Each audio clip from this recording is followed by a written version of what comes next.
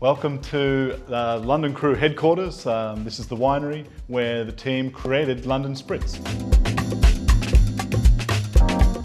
So our Spritz is made from a field blend of locally sourced grapes. Um, it's 5.5% alcohol, it's crisp and refreshing, uh, it's vegan friendly and gluten free. This is one of our most ambitious projects to date, a departure from our boutique production of wine.